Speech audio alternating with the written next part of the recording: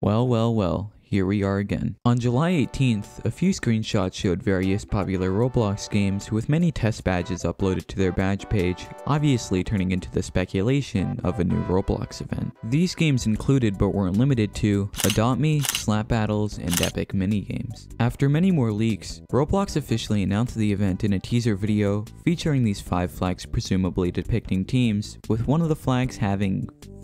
This event, later revealed to be called The Games, seemed promising on the outside. However, looking at Roblox's recent return to events, there's no doubt that players of previous events were a bit skeptical. Would this Roblox event be as good as Third Time's the Charm, or will the event bomb, succumbing to the same fate that the two previous events did? The problem with both the Classic and the Hunt is that the games involved in these events made their challenges pretty lackluster, causing people to get bored easily. With all that in mind, would this event break the dry spell Roblox created? Roblox followed up this teaser with another, giving an official date for the game's kickoff. Even more surprising, those teams covered in the first trailer involved YouTubers. Five YouTuber teams were involved in the games, with users allowed to join them and help their team collect points and currencies to win the games. The team that won would have the YouTubers and their supporters win an exclusive avatar item. As is usual with any new event, a game page was created, and a day before the event was slated to kick off, we had our first avatar accessory released relating to the event. In contrast to former event bundles, the legendary Sky Champion bundle was far cheaper than its predecessors, a mere 5,000 Robux. To the people who still think this is too expensive, just compare the price of this event bundle to others and find out that it's fairly cheap.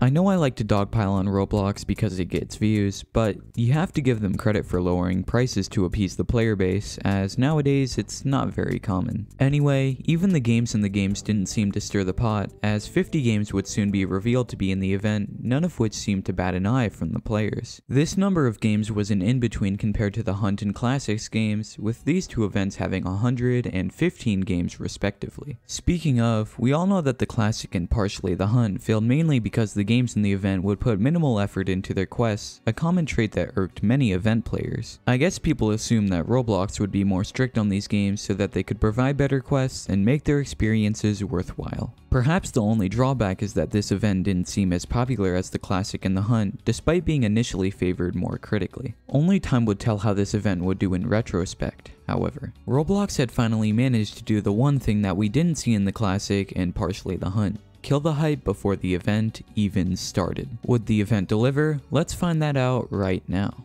When the event kicked off, the Roblox community did their standard procedure. The live streamers would go off and live stream this event, Conor3D would lose sleep making tutorials for every game, and most importantly, the community would determine this event's legacy. And now, for the moment you've all been waiting for, we will be talking about what the community thought of this event. On the first day, complaints flooded in, ranging from a team being named after feet, the prizes being mostly Rthro layered clothing, and the games being repetitive. As we saw in the last two events, Roblox followed practically the same formula when it came to rewarding players. In the participating games, you could collect currency, for this event it was silver and shards, by completing the game's quests, which you could then use to unlock exclusive avatar items. It's nothing that special and you could consider this formula repetitive, however, I haven't seen many criticisms relating to this recurring system. However, as we said earlier, the real burden would lay in the rewards, which were mainly Rthro and futuristic, and as we all know, Roblox users hate Rthro. There were plenty of rewards in this event, but they just suck, so they were out of the question as the main incentive for completing this event. It also seemed like a big betrayal because the event before this one was meant to celebrate classic Roblox, and here came Roblox and the games heavily promoting their futuristic ideology. This betrayal, along with other downsides, would create far more criticism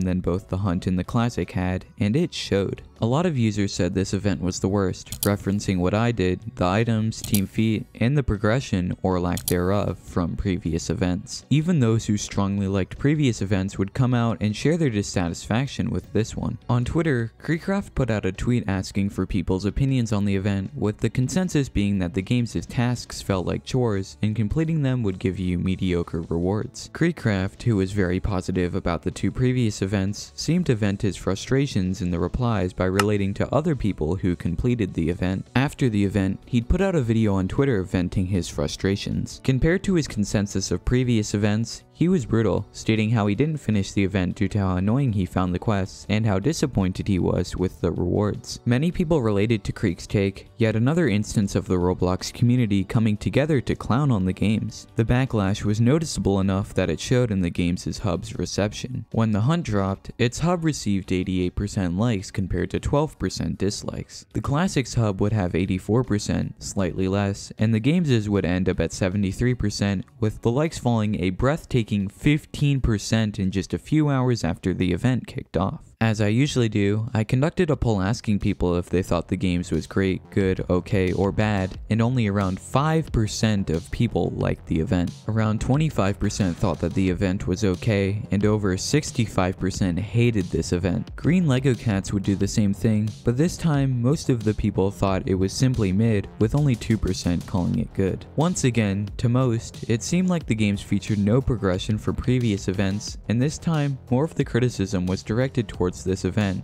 once again being a dev hunt. The rewards sucked, the game sucked, and pretty much all the things that people disliked in both the classic and the hunt were in this event. This is disappointing, seeing as everyone expected Roblox to improve. While you could make the argument that having teams involved in this event featured plenty of innovation, honestly, from what I've seen, Roblox players just aren't feeling it. In fact, the teams are probably the biggest complaint people have with this event, and it all comes down to the team currently winning, the Crimson Cats. You see, every team has three YouTubers on it, and the Crimson Cats consist of KreekCraft, Lana's Life, and Mr. Nightfox. If you're well versed in the Roblox YouTube sphere, it doesn't take long to find out why. Compared to other teams, the Crimson Cats were in insanely stacked. KreekCraft is Roblox's biggest live streamer and one of Roblox's biggest American YouTubers, second to only Flamingo, being the biggest creator by far out of the 15. If you remove all the soulless, cringe Roblox TikTokers, Lana's Life is pretty much the biggest Roblox TikToker, once again being the biggest TikToker in this event. And then we have Nightfox, who, while being a small YouTuber compared to his teammates, is still pretty helpful as a relevant simulator YouTuber. In the heyday of Roblox simulator YouTubers where Tofuu and Denis rule world, Nightfox was just starting to become big. But compared to bigger YouTubers like Tearbright Games and Russo Plays in terms of relevancy, Nightfox is one of the biggest simulator YouTubers next to LCLC today. While you may think that KreekCraft, as a Roblox variety YouTuber, covers all Roblox games, perhaps the only niche he doesn't extensively cover is simulators. This makes Nightfox a nice fit in the Crimson Cats, a team that covers the audience of pretty much all of Roblox. As such, when the game started, the Crimson Cats quickly took a massive lead due to excess players and influence. Roblox noticed how dominant the Crimson Cats team was, so they decided to help out out the other teams by giving them point boosts as favors. This certainly helped as the Crimson Cats and the Mighty Ninjas, a Spanish team, are neck and neck, However, the two other English teams in this event fell behind badly. This led to some disgruntled members of other teams complaining a worthy contributor to the games is less than par like to dislike ratio. This also led to unwanted toxicity in the Roblox community, something that probably isn't noteworthy now, but could have a hugely negative impact on the games' legacy. Anyway, it appears that after being thrown two mediocre events, a good deal of the Roblox player base decided why bother even playing the games. When Roblox announced this event after minimal hype surrounding the leaks, their tweet only garnered a couple hundred thousand views, a far cry from the millions they pulled announcing the Hunt and Classic. When the event did drop, it appeared that even Roblox users who gave them the benefit of the doubt disliked this event from the start, leading to a huge critical and commercial downfall. An example of this is when comparing the visits of the three new events, the games has a huge drop off compared to the Classic and the Hunt. By the time the Hunt wrapped up, its hub had cleared over a quarter billion visits, with the Classics boasting a lower, but still a respectable 100 million. However, by the looks of it, it appears that the game's popularity is pretty inferior compared to the two events, struggling to break the 50 million visit mark after the halfway point. Hold on, this event isn't over yet, meaning it's not completely over commercially, except probably critically, and from the looks of it, Roblox appeared to be bringing back the 1x1x1 boss fight. While this is essentially a copy and paste from the classic, the 1x1x1 boss fight at the end of that was pretty disappointing, as no prize was given for winning the fight. What was revealed, though, was an overpriced limited edition sword affiliated with the boss, which, as you could expect, didn't blow over well with anyone.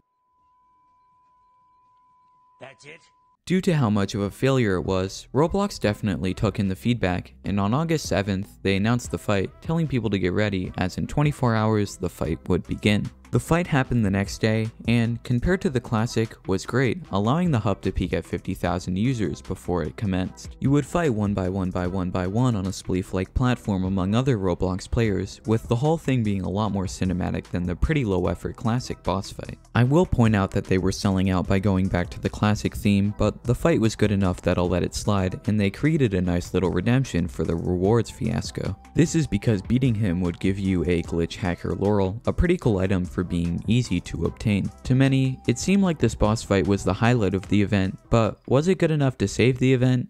No. Honestly, if Roblox ever wants to recover from this event, they'll have to play it real safe. The Hunt and the Classic were both supposed to be a return to form for Roblox, however, they tried to cling on tight to what the community liked. Egg Hunts and Classic Roblox respectively. The games was Roblox's first attempt at testing the water since the two, and the results show they'll have to go back to making safe events. Yet, the Dev Hunt formula is getting old by now, so Roblox is going to have a really hard time at having something to fall back on. For their next event to be good, I think they need to somewhat abandon this dev hunt format that they've been clinging so tightly to. On top of that, they need to make the rewards worthwhile and strictly monitor games that try to short players with their quests. It's not going to be easy, and Roblox's corporate vision will probably do its best to bottleneck an honest comeback. The games, while a big failure, was a big lesson and gave Roblox a reality check, so the next event will hopefully be better. This video was a pain to research due to how many people just don't care about the games, leading to little coverage. And so, if you appreciate my efforts and feel I earned it, subscribe and let me know why you disliked or liked the games in the comments below. Thank you for watching, and I'll see all of you in the next video.